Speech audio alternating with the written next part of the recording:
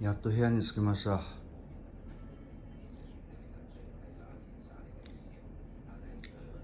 ワンジャイ ワンジャイを通り過ぎて遠いところまで行ってしまったんでホテルチェックインが2時を過ぎてしまいました。まあでもいいですね。なかなか。で途中で買ってきたのがこれです。何島って読むんだろう。これ店舗がいっぱいあるみたいで。で有名なのがちょっと今これ食べてるんですけどね。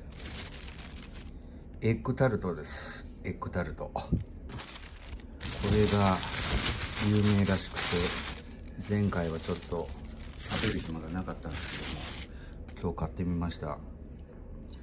まああの遠いところから来てよかったですわあのねなんか結構有名なお店らしいんであったんでエッグタルト。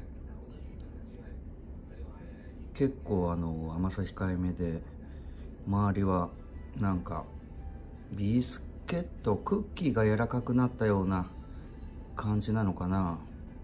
うん。すごいあの濃厚濃厚なんですけども甘さ控えめ。えっ、ー、とこれ10香港ドルか。140円ですね。だから。うん。でちょっと今ねあの食べさせですいません。食べてるんですけど。お美味しいです。でなんか温めてくれるですね。まあ温めてくれるじゃなくて出来たてかあったかいんですよ。でこうやってカスタードクリームがね中に入ってて。はい。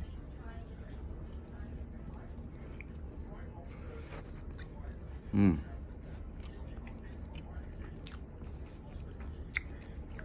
中のカスタードクリームがすごい。甘さ控えめで。結構これ23個いけちゃいそうな感じです。めちゃめちゃ美味しい。うん。